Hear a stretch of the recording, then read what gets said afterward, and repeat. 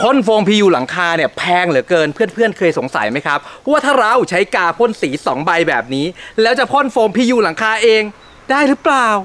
สวัสดีครับเพื่อนๆอยู่ในช่อง T3B ครับ และนี่ก็คือช่วง T3B DIY งานช่างง่ายๆ ที่เพื่อนๆสามารถทำได้เองที่บ้านนะครับ เมื่อ 3 สัปดาห์ที่ผ่านมานะครับ เราก็วุ่นวายอยู่การแบ่งสัดส่วนกั้นห้องบ้านผมนะครับ ซึ่งพอกั้นห้องแล้วสิ่งที่เราได้นอกจากการกั้นห้องติดแอร์นี่ก็คือการแบ่งสัดส่วนบ้านแบบนี้ครับ แต่ตอนนี้ก็ยังคงเป็นหน้าร้อนนะครับ เพราะฉะนั้นเราจะมา DIY เรื่องของปัญหาคลายร้อนให้บ้านเรากันครับถ้าใครติดตามผมมาตลอดนะจะเห็นว่าทุกๆ ปีเนี่ยผมมีการ DIY ปรับปรุงบ้านตลอดเลยในการแก้ปัญหาเรื่องความร้อน อย่างหน้าบ้านที่แดดเข้าตลอดเวลา ผมก็ทำระแนงไม้พาเลตเพื่อลดความร้อนบนผนัง หรือไม่ว่าจะเป็นการ DIY ใช้สปริงเกอร์เพื่อเพิ่มความชื้นในอากาศ หรือการทำหลังคา double roof เพื่อลดความร้อนครับ ซึ่งต้องบอกว่าทุกวิธีที่ทำเนี่ยมันได้ผลนะครับ โดยเฉพาะ double roof เนี่ยลดความร้อนได้ดีมากๆครับ แต่ปัญหาของผมคือบ้านผมทั้งหลังเนี่ยผมไม่สามารถขึ้นไปทำ double roof ได้ทั้งหมด เนื่องจากพื้นที่มันเยอะมากๆ และใช้เวลานานมากๆครับ แล้วก็จะให้อยู่บนหลังคานานๆ ก็รู้สึกว่ามันไม่ค่อยปลอดภัยครับแต่จ้างช่างเนี่ยเคยตีราคาแล้วแพงมากๆเลย คือทำหลังคา double roof นะครับ หรือว่าจะรื้อหลังคาเปลี่ยนใหม่เป็นเมทัลชีตที่มี PU โฟมด้านล่างนะครับ ราคาใกล้เคียงกันเลยครับ ใช้งบเป็นแสนครับทุกคนดังนั้นเนี่ยผมจึงพยายามหาวิธีอื่นที่จะลดความร้อนบนหลังคาได้นะครับ จริงๆ แล้ววิธีที่มีประสิทธิภาพมากที่สุดก็คือ ตัวฉนวนกันความร้อนนั่นเองครับ แต่ปัญหาของบ้านผมเนี่ยการติดฉนวนที่ถูกต้องเนี่ยต้องติดใต้หลังคาครับผมจำเป็นจะต้องลื้อหลังคาขึ้นมา วางฉนวนและติดหลังคาลงไปใหม่ครับ ที่สำคัญช่วงนี้อากาศเอาแน่เอานอนไม่ได้ครับเดี๋ยวจะฝนเดี๋ยวจะร้อน ถ้าเราทำไม่เสร็จภายในวันหรือ 2 วันเนี่ยมีโอกาสที่ฝนจะรั่วลงมาในบ้านเราครับ ตัวเลือกหนึ่งเลยที่น่าสนใจมากๆครับ นั่นก็คือการฉีด PU โฟมนั่นเองครับ แต่หลังจากที่ผมไปสืบราคามาแล้วเนี่ย การฉีด PU โฟมนะครับ อันนี้ในพื้นที่จังหวัดอุดรธานีนะบ้านผมเนี่ยมีพื้นที่หลังคาอยู่ที่ประมาณ 80-90 ตารางเมตรครับ ซึ่งเขาตีราคามาแล้วแหละว่าอยู่ที่ประมาณ 30,000 บาท โอเค 30,000 บาท แล้วถ้าเราลองหาวิธีฉีด PU เองล่ะ เราจะใช้งบประมาณเท่าไหร่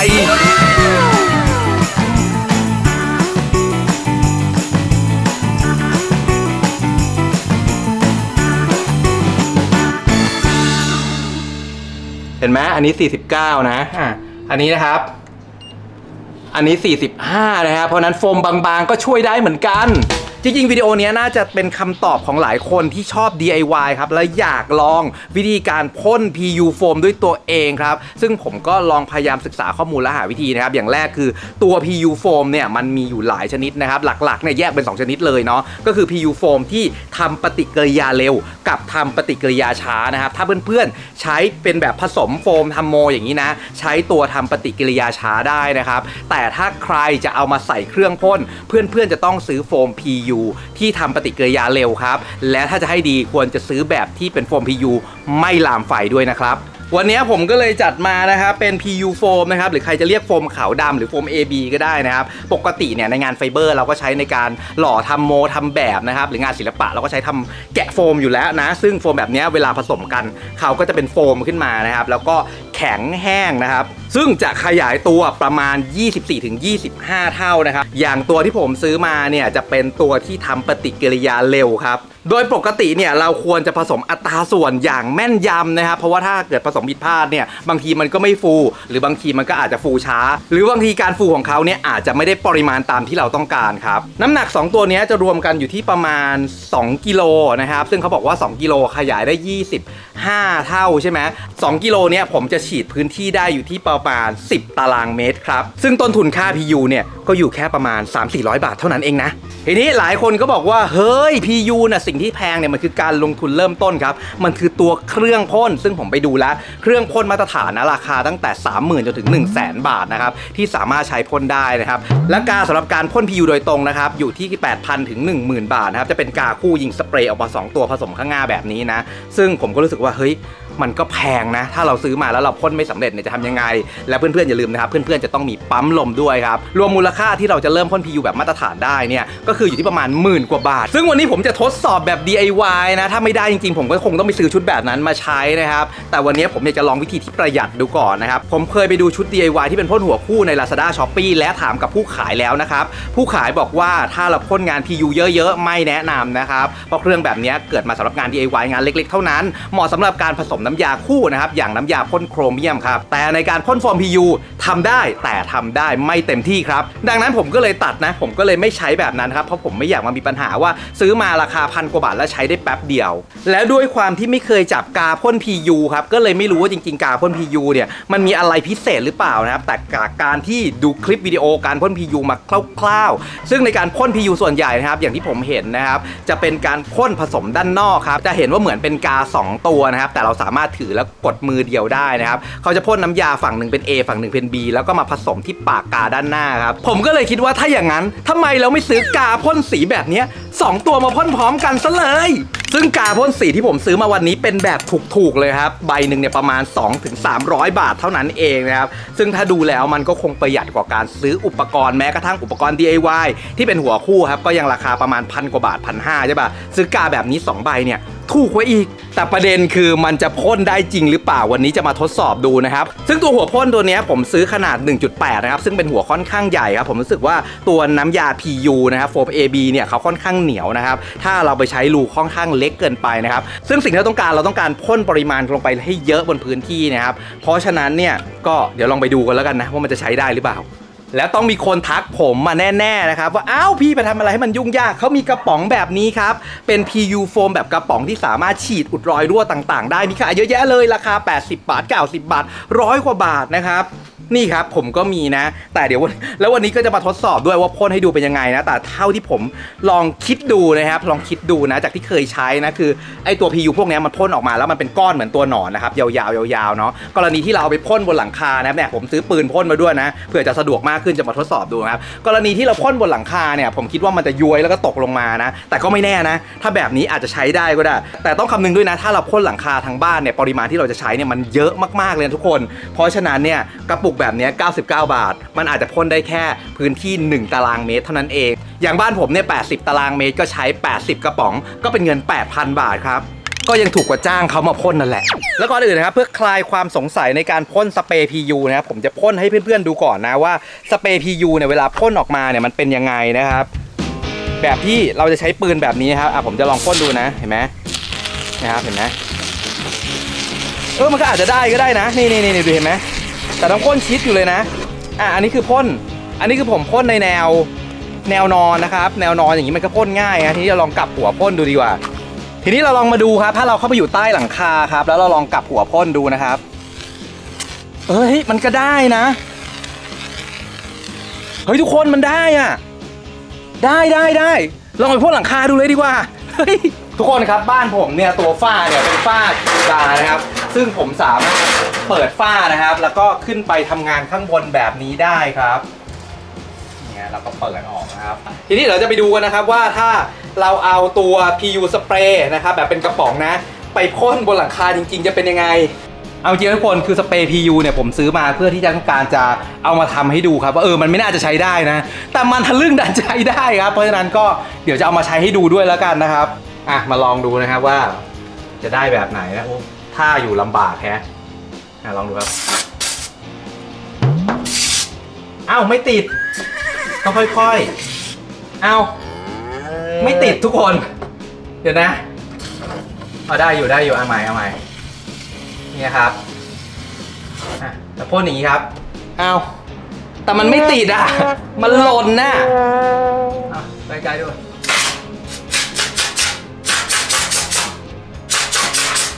ด้วยความที่หลังคา มันอาจจะเป็นฝุ่นอยู่เยอะครับ มันเลยทำให้พ่นไม่ติดอะ เอาขออีกที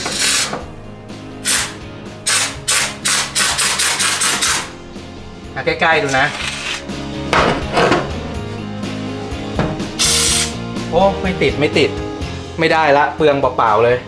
ทุกคนครับแต่จะให้ดูนะในกรณีเรามาซีนขอบกระเบื้องนะครับอ่ขอบกระเบื้องแบบนี้นะ่ะแบบนี้ได้นะฮะแบบนี้ได้นะ เข้าซอกเข้าร่องอะไรอย่างเงี้ยได้นะ เพื่อนๆครับกาวพิวแบบนี้นะ น่าจะเหมาะกับการอุดรอยต่อนะครับแล้วร่องต่างๆมากกว่านะ สรุปก็ใช้ไม่ได้นะครับ เออจริงๆทุกคนเซตนี้เขาก็ใช้งานดีอยู่นะครับ ซึ่งเขามีตัวสเปรย์ล้างปืนให้เราด้วยนะครับ ก็เดี๋ยวผมใส่ลิงก์ไว้ใต้คลิปวิดีโอแล้วกันนะครับเผื่อใครต้องการซื้อโฟม PU นะครับ ไปอุดรูอุดร่องอะไรนะครับ ตัวนี้ใช้ดีนะ ใช้ดีจริง ๆ คือทุกคนครับวันนี้ ผมรู้สึกได้ว่าอาจจะเป็นวิดีโอแรกนะ ที่ผมทำ DIY ไม่สำเร็จก็ได้นะครับ ผมก็เลยต้องกลับมาดูที่วัสดุอีกทีนะครับ ตอนนี้วัสดุที่ผมใช้ทดสอบยิงตัว PU ครับ มันเป็นตัวแผ่นยิปซัมครับ ซึ่งข้างล่างมันเป็นกระดาษนะ พอเรายิง PU โฟมเข้าไปครับ มันยึดติดได้ดีมากเลย อาจจะเป็นเพราะมันเป็นของใหม่ก็ได้ แล้วตัวหลังคา มันเป็นของเก่านะ เพราะฉะนั้นเนี่ยตัวพื้นผิวนะครับก็มีผลกับการยึดเกาะเหมือนกันครับ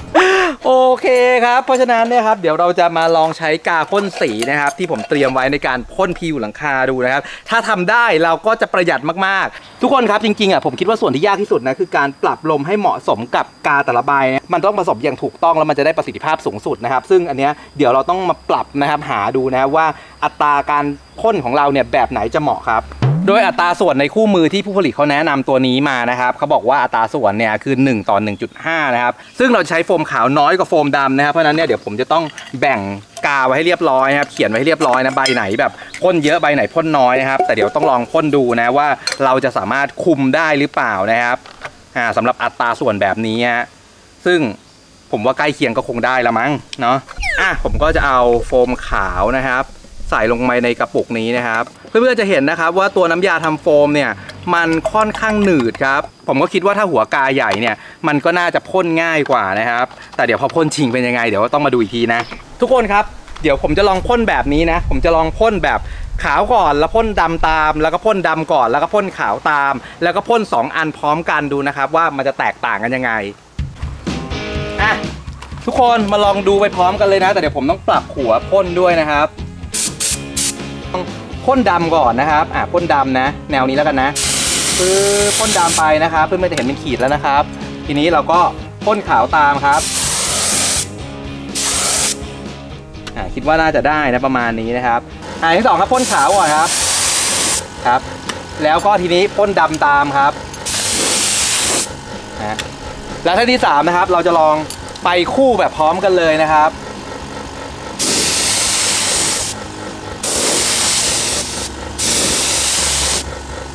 อะเดี๋ยวเรามาดูนะครับว่าจะเป็นยังไง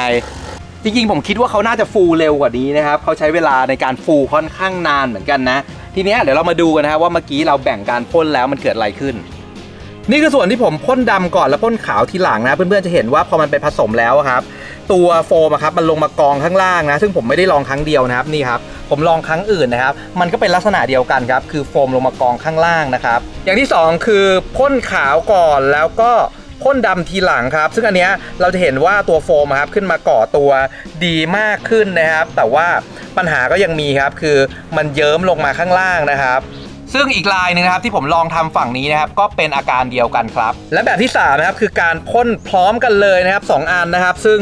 เท่าที่ดูครับมันคงต้องพ่นพร้อมกัน 2 อันแหละเพราะประสิทธิภาพออกมาดีกว่านะครับ ผมลองตรงนี้ 1 จุดนะครับ แล้วก็ตรงนี้อีก 1 จุดนะครับ แล้วก็ตรงนี้นะครับลองพ่นหนาครับ แล้วก็ทีนี้ลองพ่นแช่เลยนะครับเพื่อนๆจะเห็นว่านี่ครับพ่นแช่ออกมานะครับ ก็เฮ้ยใช้ได้นะ แบบนี้ถือว่าใช้ได้นะครับเพื่อนๆดูนะครับเดี๋ยวผมจะลองพ่นจี้ๆให้ดูอีกทีหนึ่งนะว่าถ้าเราพ่นออกไปพร้อมกันนะครับ มันจะเป็นยังไงนะอ่าดูนะ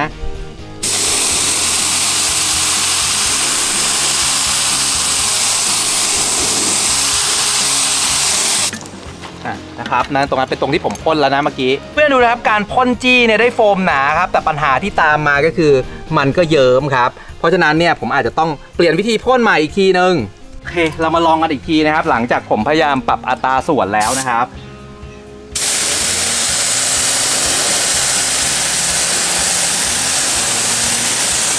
เพื่อนๆจะเห็นว่าโฟมเริ่มฟูขึ้นแล้วก็หนาขึ้นแล้วนะครับ แต่จริงผมรู้สึกว่า มันควรจะฟูได้มากกว่านี้นะ เดี๋ยวอาจจะต้องลองปรับไปอีกสักพักดูนะครับว่ามันจะดีขึ้นไหมแต่แบบเนี้ยผมก็ถือว่าเรามาถูกทางแล้วครับ และตอนนี้ถึงเวลาที่เราจะเอาลองไปพ่นหลังคาจริง ๆ กันดูแล้วครับ ไปครับทุกคนเดี๋ยวเราจะลองขึ้นไปใช้ยิงบนหลังคากันแล้วครับอะมาลองพ่นกันดูนะครับ เอามุมใกล้ๆก่อนแล้วกันนะ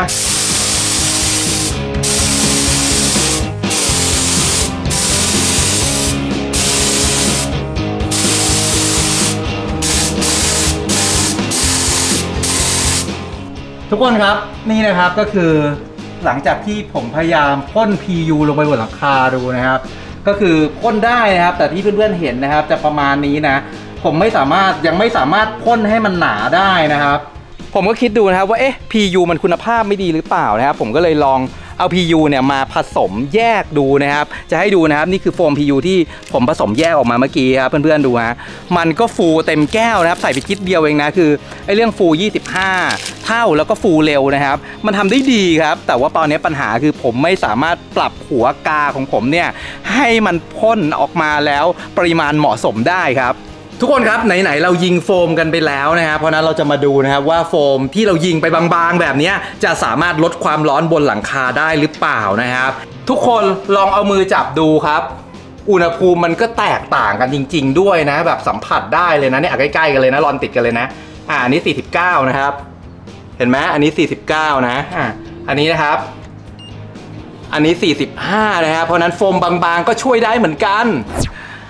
ถามว่าพ่นได้ไหมก็พ่นได้นะครับทุกคนแต่ถ้าถามว่าถ้าพ่นแล้วมันได้ความหนาตามที่เราต้องการหรือเปล่านะครับ ตอนนี้จากที่ผมทดลองดูมันยังไม่ได้นะครับ อาจจะเป็นเพราะวิธีการปรับหัวกานะครับ หรือว่าวิธีการปรับอะไรต่างๆ ของผมที่มันยังไม่สามารถทำให้ส่วนผสมมันลงตัวได้นะครับอันนี้เดี๋ยวต้องหาวิธีไปเรื่อยๆนะครับ แต่สำหรับเพื่อนๆนะครับที่มีเทคนิคหรือมีวิธีฝากแนะนำด้วยแล้วกันนะว่าเราควรจะปรับหัวกาหรือควรจะปรับแบบไหนนะครับ หรือจริงๆเนี่ยสิ่งที่ผมทำมันไม่สามารถทำได้จริงๆนะครับก็ฝากคอมเมนต์บอกไว้ใต้คลิปวิดีโอด้วยนะครับ และสำหรับใครที่กำลังคิดแบบผมอยู่ว่าอยากจะซื้อกา2ใบมาลองพ่นโฟม PU หลังคาดูนะครับ ก็ทำให้ดูแล้วนะครับ อย่างที่เห็นว่ามันเป็นสภาพแบบนี้นะครับ เพื่อนๆก็ลองตัดสินใจเองแล้วกันนะครับ ว่าเพื่อนๆจะเลือกวิธีนี้หรือเปล่านะครับ ก็ขอบคุณนะครับที่เข้ามาติดตามชมนะครับอย่าลืมกดติดตามกดกระดิ่ง เป็นกำลังใจให้ผมนะพาผมไปยอด 5 0 0 0 0 0 subscribe อย่าลืมไปติดตามใน TikTok รวมถึง Line Official ด้วยนะครับวันนี้ไปก่อนครับบ๊ายบาย และอย่าลืมกดไลค์ไลค์ไลค์แชร์กันไป แชร์กันไป